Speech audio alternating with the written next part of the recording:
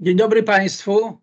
Jest mi miło, że jest takie forum, które tu pan profesor Loejszo organizuje i możemy prawie w, e, objąć całą Rzeczpospolitą tych, którzy są chętni, abyśmy mogli sobie porozmawiać na ten dość ważny temat, jakim, są, jakim jest e, system obrony terytorialnej i w nim wojska obrony terytorialnej. Otóż, proszę Państwa, e, na tym zobrazowaniu widzicie, w jakim położeniu Polska Rzeczpospolita y, się znajduje. Otóż po lewej stronie mamy sąsiada zachodniego, potęgę ekspansji cywilizacyjno-kolonizacyjnej czy ekonomicznej. To państwo funkcjonuje od 700 lat i ma zawsze jakieś tam E, do nas e, polityki, przeważnie ekspansji ekonomicznej, a często nawet militarnej. No, z zachodniej strony, z, z prawej strony mamy sąsiada potęgę przemocy militarnej i ekspansji terytorialnej, która to polityka tego państwa na nas odbija się od 300 lat.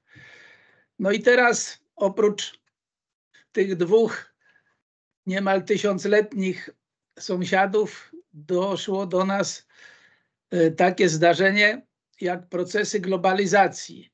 No i te procesy globalizacji e, mają równie, że tak powiem, destrukcyjne oddziaływanie na państwo polskie, gdyż e, one właściwie nie ingerują militarnie, a e, ekonomicznie, a szczególnie finansowo. No, tymi potęgami w ramach globalizacji, które usiłują mieć wpływy na terenie Rzeczypospolitej, to są Chiny i Stany Zjednoczone, a właściwie głównie u nas Stany Zjednoczone. Na tle tego zobrazowania naszego położenia geopolitycznego, no, trafił nam się sojusznik w postaci Stanów Zjednoczonych, taki nowy sojusznik, bowiem tradycyjnie liczyliśmy zawsze na Francję i Wielką Brytanię, ale jak okazało się podczas II świato wojny światowej nie bardzo ci sojusznicy się sprawdzili. No, w kontekście systemu obrony terytorialnej ważne jest na naszym forum zacząć od teorii, którą uważa się, że jest to uogólnione doświadczenie, a z punktu widzenia naukowego to jest to teoria y, ogólnie usystematyzowanych wiadomości jakiejś nauki albo jej części. Bo jeszcze jest taka teoria obiegowa, ale ona często nie ma wiele wspólnego z nauką. No i teraz co teoria czy teoretycy o obronie terytorialnej?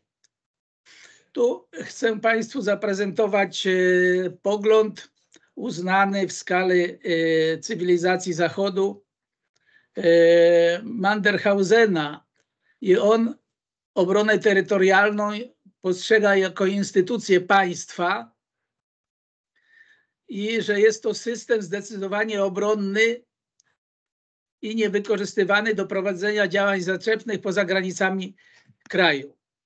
Jest to system wojskowy, który nie opiera się na stałej armii, lecz obejmuje szerokie kręgi obywateli.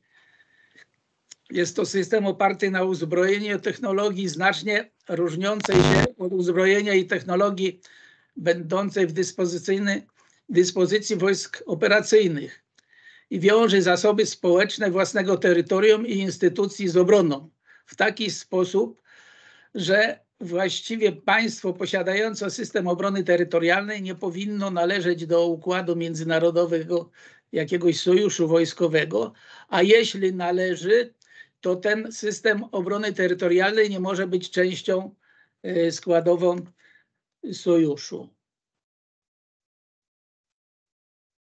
No i Teraz kilka słów na temat, co Amerykanie jako nasi najważniejsi sojusznicy rozumieją pod obroną terytorialną. Że jest to komponent, nie rodzaj sił zbrojnych, ani nie rodzaj wojsk, jak często u nas do tego się podchodzi. Jest to komponent, czyli coś bardziej e, wyżej usytuowanego.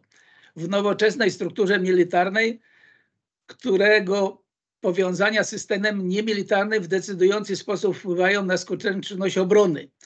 Czyli proszę Państwa, widać z tej definicji amerykańskiej, że ten komponent musi mieć szczególne powiązanie z systemem niemilitarnym i jest to w, o, w kontekście obrony narodowej potrzebne. Amerykanie kładą duży nacisk na spójność terytorialną struktury dowodzenia obroną terytorialną i dlatego właśnie y, te aspekty y, administracji terytorialnej muszą być uwzględniane. A czy to jest w Polsce tak? Oczywiście tak nie jest. W wypadku braku tego czynnika Amerykanie uważają, że nie ma systemu OT i jej wojsk. No oczywiście Amerykanie co innego, a my sobie. Na bazie y, koncepcji Clausewitza obrona terytorialna współcześnie obejmuje wojska obrony terytorialnej i podporządkowane, pod, y, podporządkowane terytorialnym organom dowodzenia. To jest warunek ten, na który kładą Amerykanie nacisk. I zajmuje się operacyjnym przygotowaniem terytorium, czyli infrastrukturą do obrony i obroną miast. To w Clausewitz te miasta postrzegał jako twierdzę. Trzecie, powszechny udział społeczeństwa w zbrojnej i cywilnej obronie narodowej. Kładę tu nacisk y, na powszechny, gdyż on właściwie decyduje o istnieniu systemu obrony terytorialnej i obronie cywilnej, którą to obronę cywilną my żeśmy ostatnio rozwiązali, jak Państwo wiedzą, i jakichś działań y, w tym kierunku nie ma. No i takim czwartym elementem to są działania nieregularne w masowej skali. A tu chciałbym, proszę Państwa, y, bardziej y, zwrócić uwagę na taką wykrytą przeze mnie zbieżność. Otóż Kazimierz Wielki, który żył 370 lat wcześniej niż Clausewitz, po prostu właściwie ten system obrony terytorialnej zorganizował dość wzorowo, bo jak się skonfrontuje to, co zrobił Kazimierz Wielki z tym, co głosił Clausewitz, to odnoszę wrażenie, że Clausewitz zrobił taki sam myk, jak robili Grecy przez setki lat w stosunku do y, państwa faraonów, czyli Egiptu. Bo my wielu Greków uznajemy za jakichś takich czołowych myślicieli y, w kulturze europejskiej i w dorobku cywilizacji europejskiej.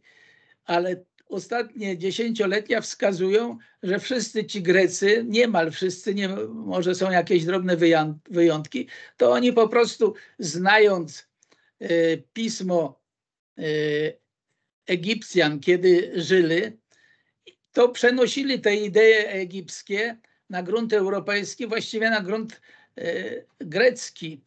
No i w zasadzie dla nas zostali tymi autorami, bo my przez po prostu y, tysiąclecia nie potrafiliśmy odczytać y, egipskich znaków i nie wiedzieliśmy o tym, co tam państwo faraonów wydumało w sprawach nauki.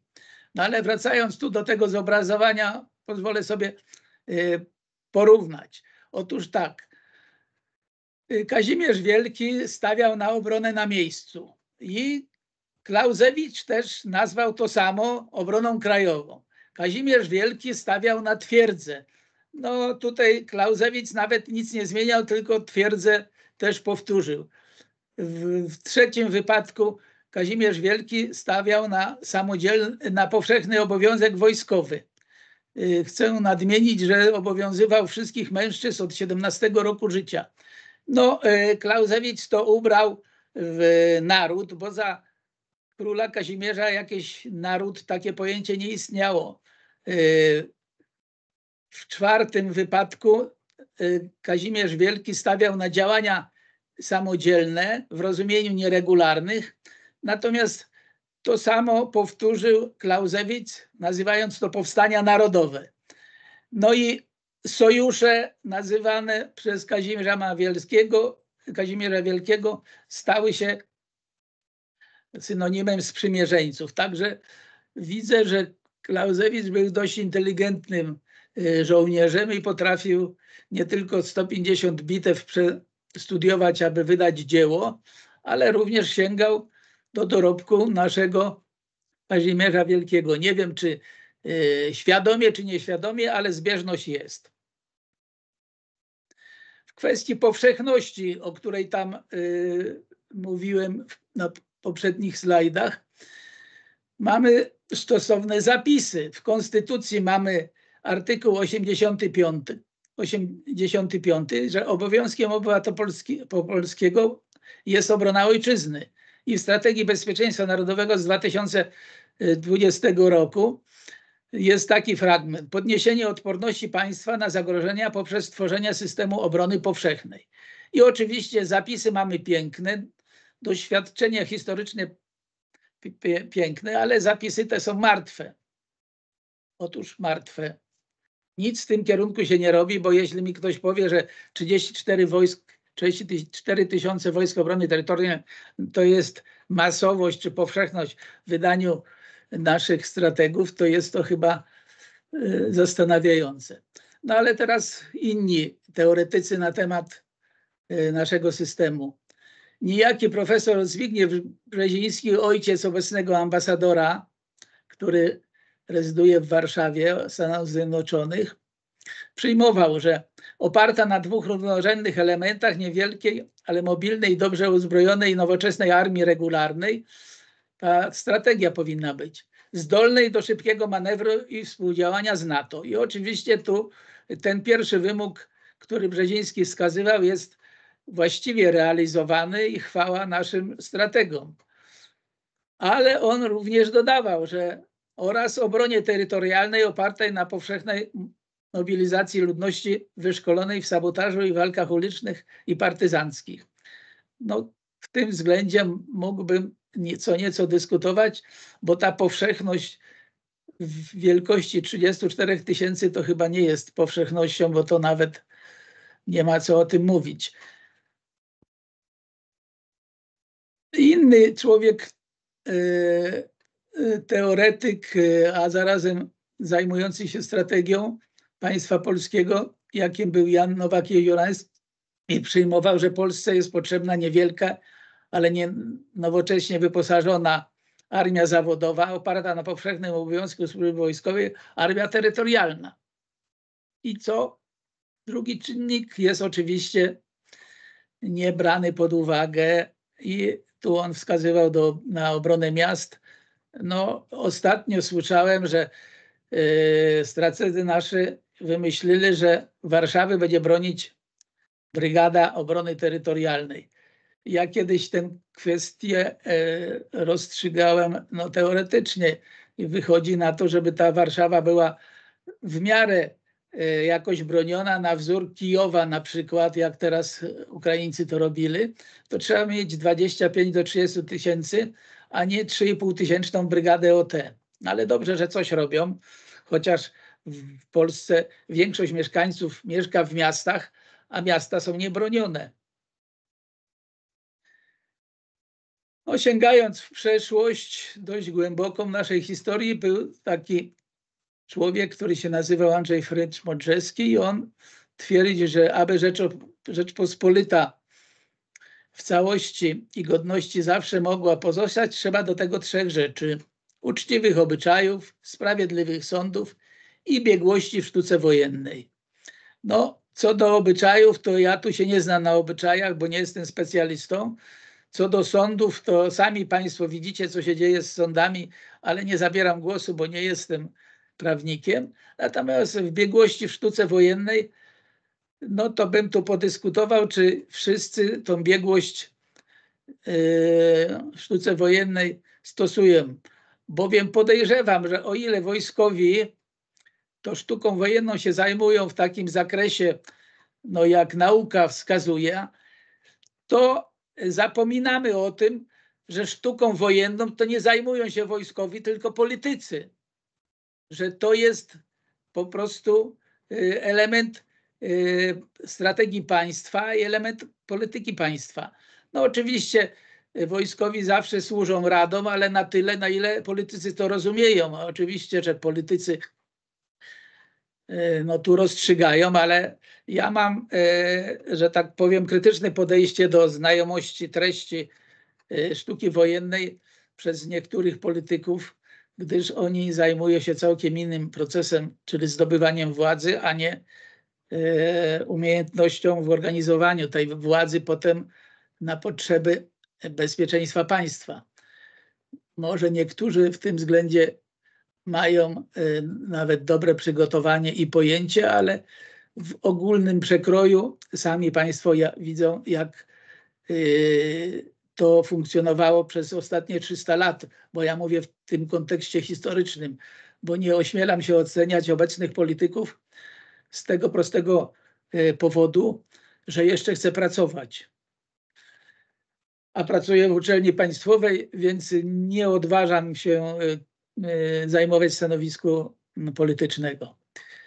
No ale tutaj Andrzej Fręcz-Modrzewski w kwestii strategii artykułował, że według Platona czyli już wtedy, za dawnych, dawnych czasów.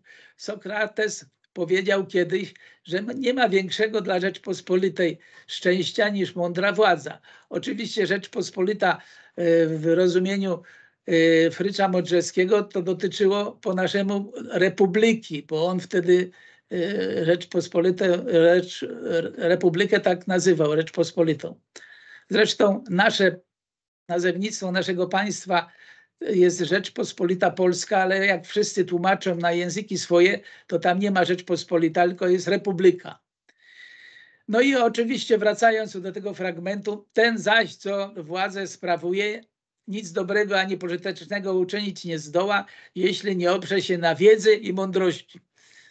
Więc ja e, w tym względzie e, mam tu krytyczne podejście co do wiedzy a mądrości to no, trudno oceniać, bo nie jestem psychologiem ani jakimś uprawnionym. W każdym bądź razie y, chciałbym, aby ci, którzy sprawują, no, mają wpływ na strategię państwa polskiego, mieli na względzie te dwa słowa: wiedzę i mądrość.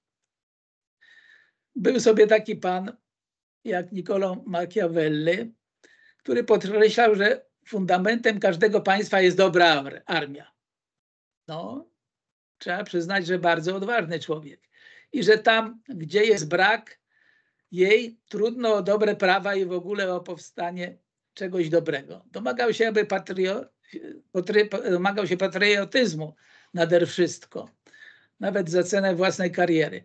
Otóż, proszę Państwa, no ten y, Machiavelli może się niektórym nie podobać, bo on rzeczywiście od, duży akcent kładł na patriotyzm, a u nas niekiedy odnoszę wrażenie, że patriotyzm to jest źle postrzegany, wręcz e, porównuje się go do faszyzmu albo innych jakichś zdarzeń e, niemiłych, a jest to ważna sprawa i myślę, że o tym patriotyzmie powinniśmy myśleć niezależnie od krytycznych ocen niektórych, wydawałoby się, znawców. No, też Machiavelli twierdzi, że siły, powinny, siły zbrojne powinny mieć milicyjny charakter. Co on rozumiał? Który nie będzie, nie, który nie, w których nie byłoby miejsca dla zawodowych szeregowców ani zawodowych oficerów. No, to jest ciekawa armia. Każdy powinien w czasie pokoju wykonywać zawód cywilny i po każdej wojnie niezwłocznie do wykonywania tego zawodu wracać bo sprzyja to wolności, zgodzie, wierności, gotowości do życia i pokoju w bojaźni Bożej. Trzeba przyznać, że y, to, co on głosił, no to się sprawdza do dnia dzisiejszego w takim państwie jak Szwajcaria. No i niewielu y, w ostatnich setkach lat chciało wybierać się na tą Szwajcarię, bo wiedzieli, że wszyscy tam y, się, że tak powiem, dzielnie przygotowują do obrony. Ja tylko e, wspomnę, że kiedyś miałem taki epizod, byłem z ministrem na terenie, ministrem obrony na terenie Szwajcarii i w pewnym momencie oni mówią, że pokażą jak ich armia funkcjonuje. No i wyjeżdżamy z miasta, jedziemy, zajeżdżamy do wsi i wjeżdżamy na podwórko do jakiegoś tam rolnika. Więc tak się zastanawiamy, o co chodzi. A tu rolnik wychodzi, otwiera stodołę i pokazuje nam transporter opancerzony y, z wieloma antenami i przedstawia się, że jest dowódcą batalionu, a tu ma, że tak powiem, transporter y, do utrzymywania łączności. Ja na pytanie nasze, gdzie są jego żołnierze, on mówi, że tu mieszkają gdzieś pobliskiej okolicy, także nie ma sprawy, nie ma problemu. No ale jak wracaliśmy od niego, patrzymy na skrzyżowaniu, stoi 10 transporterów opancerzonych, ogrodzonych siatką. Więc się pytamy naszego przewodnika, co to za pojazdy. A oni mówią, że to jest tutaj w pobliżu kompania yy, piechoty zmotoryzowanej i ci mieszkańcy tutaj z tej wsi i następnej te transportery dosiadają na ćwiczenia. A jak skończą ćwiczenia, to te transportery stoją. No to my jako e, dbający o sprzęt pytamy, no ale to przecież te transportery mogą no, zardzewieć albo od tutaj deszcza. Oni mówią, no to co za sprzęt, jak on się śniegu czy, czy boi deszczu, mówi. Jak się nie sprawdza, to ten sprzęt się nie nadaje, mówi nawet do walki. Więc oni w ten sposób sprawdzają technologię, którą im dostarcza producent. No tacy to Szwajcarzy. No i najdziwniejsze, że oni mówią, że system swój zbudowali na doświadczeniach Kazimierza Wielkiego, co nam, że tak powiem, oczy dęba stanęły, bo my o tym Kazimierzem Wielkim się niezbyt chwalimy, a oni mówią, że te rozwiązania były całkiem niezłe. No ale jeszcze nikt tego Nikole tak eksploatuje, że oddziały zbrojne, które rekrutują się z własnych poddanych lub obywateli, to są właściwie najlepsze, nie ma wierniejszych, gdyż oni mają właśnie tego ducha e, patriotycznego i są nerwem wojny. Ale jeszcze wrócę tutaj No dobrze, dalej. To kilka y, myśli Państwu przedstawiłem w kontekście tego, tej obrony terytorialnej, jak to niektórzy y, postrzegali ten problem tych wojsk y, nie do końca zawodowych, a ważnych dla funkcjonowania państwa i silnie współdziałających ze społeczeństwem, którzy są wojska powszechne i e, e, rozlokowane terytorialne, czyli e, lokalnie. No i teraz przechodzimy do tego, co się, że tak powiem, faktycznie, co miało miejsce. I teraz tak. Wiele wiemy, na przykład często czytując Kazimierza, dokonania Kazimierza Wielkiego, że jego organizacja wojskowa opierała się na systemie chorągwianym, które to jednostki taktyczne e, były przekazywane po sformowaniu w dowództwo wojewody. Czyli kiedy te chorągwie już zostały na poziomie powiatów zrobione przez starostów, no to oddawano je w kompetencje wojewody i wojewoda maszerował z nimi po Rzeczypospolitej, tam gdzie król nakazywał. Natomiast często zapomina się o tym, że u Kazimierza Wielkiego funkcjonowały terytorialne organy dowodzenia na poziomie administracji lokalnej, czyli starostowie, kaleszta, kasztelani, wójtowie miast i sołtysi. Dlaczego mówię y, o tych y, organach dowodzenia? Bo o tym mówią zarówno Amerykanie, jak i właśnie wielu y, strategów, y, czy wielu tych, którzy zajmują się y, wojskami o charakterze lokalnym. I jednocześnie u Kazimierza Wojskowe, Kazimierza Wielkiego te elementy, czyli ci starostowie, kasztelani, wójtowie i sołtysi byli poniekąd, poniekąd władzą wojskową na tym szczeblu. I jeszcze właśnie to uwypuklam dlatego, że jeśli chcemy tworzyć system obrony terytorialnej, to muszą te organy dowodzenia być y, właśnie na tych szczeblach. I Kazimierz Wielki y, no, obronę na miejscu, oprócz tej takiej chorągwianej, która była manewrowym działaniem, można powiedzieć odpowiednikiem wojsk operacyjnych, no to była ta obrona na miejscu, gdzie właśnie już tu wspominałem, że każdy mężczyzna do 17 roku życia musiał przygotowywać się do właśnie jakiegoś obowiązku w ramach obrony na miejscu. I w odniesieniu do chłopów wymagano, aby e, organizowali, oczywiście pod y, dowództwem sołtysów, na rubieżach terenowych i trudno przekraczalnym terenie jakieś działania, które by załóżmy uniemożliwiały y, agresję przeciwnika. W odniesieniu do mieszkańców miast, zamków i miejscowości do nich przylegających też yy, wymagano, aby wykorzystywali infrastrukturę o charakterze stałym, czyli to, co mieli, przygotowywali do skutecznej obrony. No i jeszcze w odniesieniu do mieszkańców miast, zamków i miejscowości, a także wsi, wymagano, aby panowali na szlakach komunikacji lądowej. Więc tworzyli tam różne Y, zasadzki, zapory, y, niszczyli mosty, jeśli było trzeba, czy wiadukty.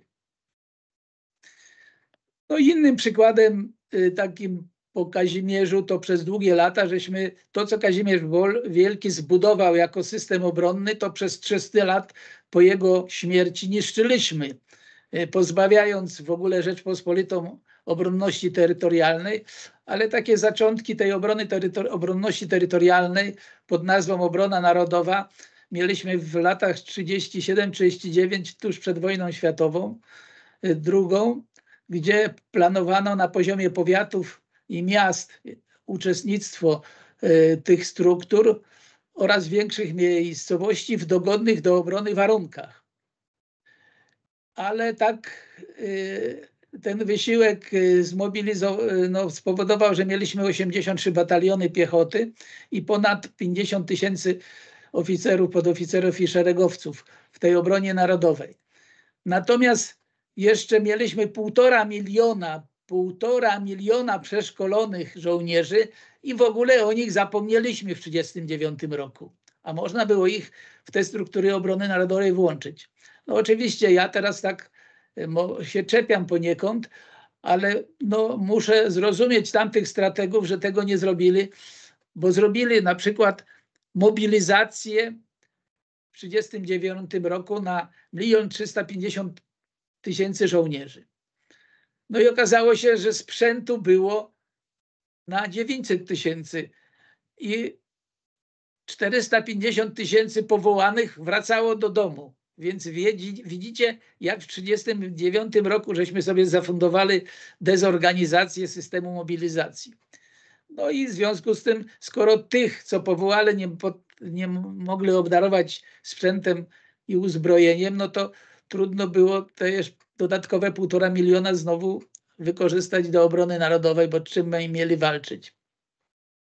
No i te struktury obrony narodowej funkcjonowały w takich regionalnych i lokalnych strukturach terytorialnego dowodzenia y, skoncentrowanego w dowództwach okręgów korpusów. Y, I te 83 bataliony obrony narodowej funkcjonowały w brygadach obrony narodowej i półbrygadach obrony narodowej. No i innym takim rozwiązaniem o charakterze terytorialnym była Armia Krajowa w 1942 do 1945 roku. No i stan w 1944, y, tu są rozbieżne dane, ich by, że było ich 250 do 390 tysięcy. Ale y, pobijając y, te dane, chociaż są one ważne i świadczą o jakimś no, znacznym wysiłku, chociaż państwa nie było, bo byliśmy państwem podziemnym, to chcę tu wskazać, proszę Państwa, na rozwiązanie terytorialnego systemu dowodzenia AK, które można powiedzieć, że było wzorcowe, bo tworzono y, komendę obszaru, która obejmowała dwa, trzy okręgi, a okręg stanowił województwo. I ta komenda okręgu miała w podporządkowaniu komendy obwodów, czyli powiaty, a powiaty miały placówki, dowództwa placówek, w którym, które funkcjonowały w jednej lub y, dużej lub małych kilku gminach. I podstawową jednostką organizacyjną i taktyczną był pluton liczący 50 żołnierzy, przywiązany do, no, do, do konkretnej poszczególnej gminy. Innym takim rozwiązaniem współczesnym, bazującym na Klauzewicu, a przed chwilą pani Clausewitz bazował na Kazimierzu Wielkim, to było Die Territoriale Verteidigung niemieckie, niemiecka obrona terytorialna w 57 do 69 roku. I ono miało dowództwo i chcę, proszę Państwa, nadmienić, że dowództwo OT niemieckie nie wchodziło w strukturę sojuszniczą NATO, a wtedy Niemcy już były w NATO. I to dowództwo zarządzały sześć, sześcioma okręgowymi komendami obrony terytorialnej. I dlaczego sześcioma? Dlatego, że było sześć landów związkowych, więc każdy land związkowy miał swoją komendę. Niżej były województwa, wojewódzkie komendy OT i powiatowe komendy podwojewódzkimi. I na poziomie wojewódzkich funkcjonowały brygady OT ogólnego przeznaczenia, natomiast komendy OT bataliony y, miały w podporządkowaniu bataliony. I tam były bataliony ogólnego przeznaczenia, ale też były bataliony specjalistyczne, które wykonywały prace inżynieryjne, prace ochroniarskie, prace ubezpieczeniowe, chociażby lotnisk, czy załóżmy y, zabezpieczały przegrupowanie y, wojsk operacyjnych, w tym tych sojuszniczych, a tam przecież na terenie Republiki Federalnej wówczas stacjonowali nie tylko Amerykanie, ale Francuzi, Belgowie, Holendrzy i Brytyjczycy, a także Duńczycy. I podstawową strukturą bojową OT był powiatowy rejon obrony. No i biorąc to wszystko do kupy, chcę Państwu zaproponować y, no, takie całościowe spojrzenie, jak powinny wyglądać, czy jak mogłyby wyglądać siły zbrojne. No i to siły zbrojne powinny posiadać dwa komponenty. Proszę Państwa, właśnie tu podkreślam komponenty, na co wskazywali Amerykanie w swojej y, strategii, że komponent to jest coś więcej niż rodzaj wojsk. I tu po lewej stronie na niebiesko jest zaznaczone, że te komponent, y, że elementami komponentu operacyjnego są wojska siły lądowe, wojska siły powietrzne, wojska siły morskie, siły specjalne, wojska cyberobrony, wojska rezerwowe i wojska wewnętrzne. Dlaczego tak się, że, że tak powiem, e, no podkreślam, że to wojska wewnętrzne? No bo w niektóre państwa mają wojska wewnętrzne i na przykład komponent operacyjny Stanów Zjednoczonych ma wojska wewnętrzne, które się nazywają Gwardią Narodową. I nie jest to obrona terytorialna, jak to u nas często się mówi. Gwardia nie jest jednostką obrony y, terytorialną, chociaż na poziomie y, powiatów amerykańskich mają tam elementy o charakterze obrony terytorialnej, ale to jest całkiem inna struktura niż Gwardii Narodowej, bo Gwardia Narodowa, jak sami Państwo wiedzą, amerykańska ma również funkcje zewnętrzne, tak jak wojska operacyjne i y, amerykańskie i może wykonywać te same zadania, co wojska operacyjne. Na przykład w czasie e, pustynnej burzy było dużo e, wojsk, e, znaczy jednostek Gwardii Narodowej na Półwyspie Arabskim do prowadzenia walki przeciwko Irakowi. No ale teraz po prawej stronie jest komponent terytorialny sił zbrojnych. No i ten komponent terytorialny sił zbrojnych, proszę Państwa, musi mieć terytorialne organy dowodzenia których w Polsce nie ma, a jakieś zaczątki, które były, to zlikwidowano i w miejsce ich zrobiono e, struktury o charakterze mobilizacyjnym czy szkolenia rezerw. Ale to nie są organy dowodzenia, które mogą kierować wojskami obrony terytorialnej. U nas w ogóle one takiej funkcji nie mają.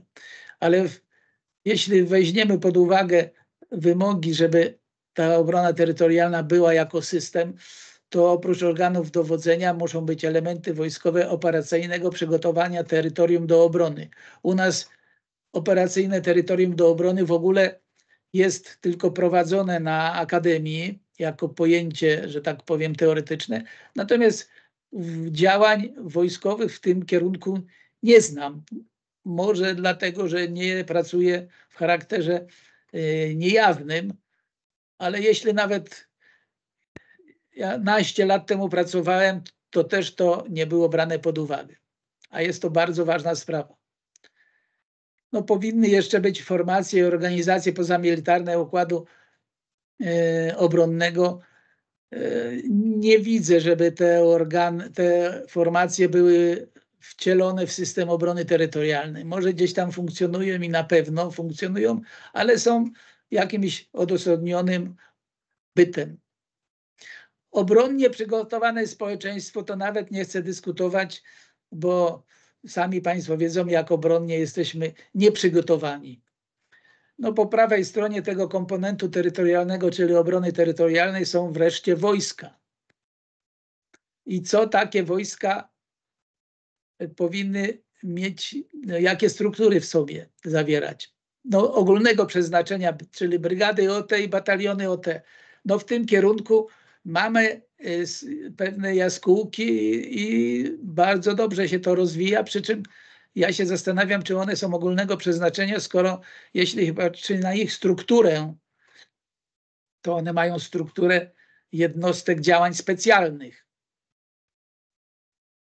No ale nie będę głębiej się zagłębiał, że tak powiem, ale powinny być na bazie doświadczeń z tych rozwiązań, gdzie były takie rozwiązania o charakterze obrony terytorialnej, to powinny być jednostki forteczne. Nie słyszę, żeby były, ale powinny być. Wartownicze. Wiem, że e, w systemie mobilizacyjnym takie kwestie się rozpatruje, ale dotyczą one ubezpieczenia obiektów wojskowych, a e, jak patrzyłem na rozwiązania zachodnio-niemieckie, to te jednostki wartownicze, to one w głównej mierze ubezpieczały infrastrukturę cywilną, dlatego że jeśli cywilów się pobije czy uszkodzi, to sektor cywilny jest mało użyteczny y, na rzecz zabezpieczenia funkcjonowania y, wojsk operacyjnych, czy w ogóle wojsk. No i jeszcze powinny być jednostki przeprawowo-mostowe, inżynieryjno-zaporowe i logistyczne, szkoleniowe. No takie systemy żeśmy próbowali po 1992 roku y, w Polsce robić, ale jedna, że tak powiem, opcja je po części tworzyła, a druga je rozwiązywała. Trzecia je tworzyła, a czwarta je rozwiązywała. No ale y, nie oceniam działań politycznych, tylko y, mówię w kontekście teorii i że taki system to właśnie tutaj jest obrazowany. Literatura, jakby ktoś e, nie mógł zasnąć, to na pewno jak będzie czytał, to z pewnością zaśnie. Dziękuję za uwagę.